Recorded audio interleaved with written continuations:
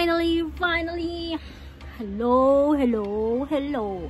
Nakapag-video na rin ako after 6 months. Yes, 6 months. 6 months akong hindi nag-video. Hindi ko alam kung bakit at anong ginawa ko dun sa 6 months na yon. Pero ang alam ko lang is tinamad ako. Tinamad ako mag-video. And ayun nga po, nandito ako sa Pilipinas ngayon. 2 uh, months na. 2 months na po ako nandito sa Pilipinas. Kasi po, naabutan ako ng lockdown. Bakasyon ko po kasi nung March 13 and March 15 nag-start yung lockdown sa Pilipinas and nag-lockdown na rin sa Dubai.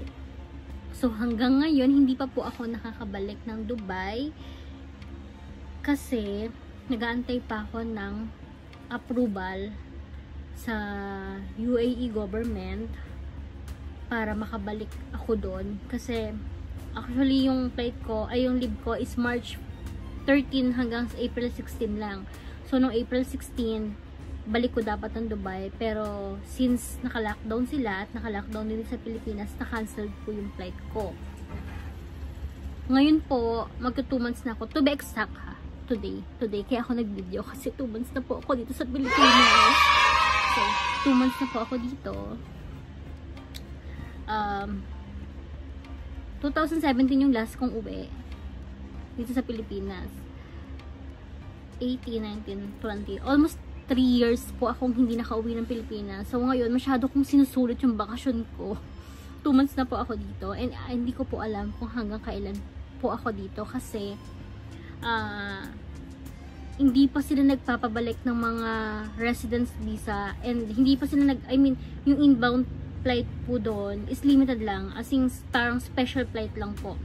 And yung UAE government, naglabas sila ng rules na kailangan kumuha ng permit para makabalik ka doon. So, before ka mag-book ng ticket, babalik ng Dubai, kailangan mo yung permit na yun galing sa kanila. And until now, nagaantay ako ng permit na yon Pero base doon sa mga nababasa ko, parang ipinaprioritize lang muna nila ngayon is yung mga frontliner yun muna yung mga pinapabalik nila ng Dubai. And hopefully hopefully sana po next month makabalik na unti-unti na silang unti-unti na nilang pabalikin yung mga naka-residence visa. Kasi medyo ang tagal na po talaga. Kasi ang dami po kasing balita na may by July pa mid ng July or end of end of July. So medyo matagal na ang tagal po talaga. Ano ba naman itong lumilipad-lipad natin? Naman to So, ang tagal-tagal ko na po dito. Yung amo ko, pinapabalik na ako. Pero naiintindihan naman nila yung situation ko. Ang tagal ko na nga po dito. Tapos yung trabaho ko, uh, ang dami ko pa pang, ang dami ko pang naiwan na trabaho. And, eto, ayun, ikukwento ko lang kung ano yung quarantine life ko for 2 months. Yes, for 2 months. 2 months, imagine for 2 months, dalawang beses pa lang po ako nakakalabas.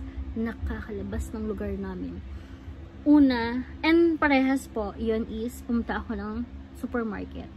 And, base po dun sa experience ko, sa pagpunta ko ng supermarket, as in, sobrang hirap po talaga. Hindi, alam niyo po yun, ma-realize niyo yung, na, ang okay nung, ang okay dati, parang, walang kahasel-hasel pag namimili ka anytime na gusto mo lumabas ng bahay makakalabas ka. Pero ngayon asing sobrang hirap po talaga. Pero syempre wala naman po tayo magagawa kung hindi sumunod kasi tayo rin naman po yung may hirapan pag hindi tayo sumunod. Pero sana po talaga is maging okay na. Eventually maging okay na. Dahan-dahan. Hindi naman talaga basta-basta babalik sa lahat eh. Babalik ang lahat sa normal. Pero sana, unti-unti, di ba po, unti-unti maging okay na. Kasi sobrang hirap po talaga ng nangyayari ngayon. Yung limitado lang yung paglabas mo and ang hirap mamili. So, kailangan mo mag-stock sa bahay. So, ang hirap po talaga. So, ngayon, May 15, mag May, uh, May, yeah, May 15, malapit na mag May 15, 2 months na po yung lockdown dito sa, sa Pilipinas. Which is Cavite, kasama po siya sa ano, ECQ. Ang hirap, ang hirap po talaga. Sobrang nakakataba po pala talaga nasa bahay lang. Alam niyo po yung minsan na gusto mong gumawa, mag-exercise, pero isipin mo pa lang na mag-exercise ka na, napakagod ka na. And yung tipong hindi ka naman nagugutom, pero paglababa mo po, pagbaba mo may makikita kang pagkain sa lamesa, so kakain ka na lang. Ang hirap, ang hirap po talaga. So alam ko namang hindi lang ako yung manaba ngayong quarantine. Marami pong nakaka-relate dyan. And ayun, lahat na ng pwede mong gawin, gagawin mo na lang ngayong quarantine kasi sobrang nakaka-bored na po. And wala ka na talagang magagawa. And sobrang init po dito sa Pilipinas. Though mainit din naman talaga sa Dubai. As in, never nga, ay, hindi po umuulan doon. Parang sobrang bilang na bilang lang na umulan doon. Pero, grabe, ang init po talaga dito. As in, hindi ako pawising tao. Pero grabe dito, pagising mo pa lang, pawis na pawis ka na, na tumutulo na lang yung pawis mo, mararamdaman mo na lang. Sana po maging okay na ang lahat yun lang po yung pinagdadasal ko din palagi. Unti-unti na bumalik ang lahat sa normal and yung mga may trabaho, sana makatrabaho na sila, makapasok na sila. Inisip ko nga po yun eh, kasi di ba ang hirap naman na magkatrabaho, lalo na yung mga crowded na company, sabay-sabay silang papasok. Sobrang hirap po na, ano, parang ang hirap naman po nun sa part nila. Pero syempre, wala naman po tayong magagawa kasi kailangan po talaga nila magtrabaho, gawa ng hindi na po kaya. Kaya kailangan na po nilang kumita. Almost 2 months. Ang hirap po ng almost 2 months na wala kang trabaho, wala kang sweldo, wala kang inaasahan na kahit sino.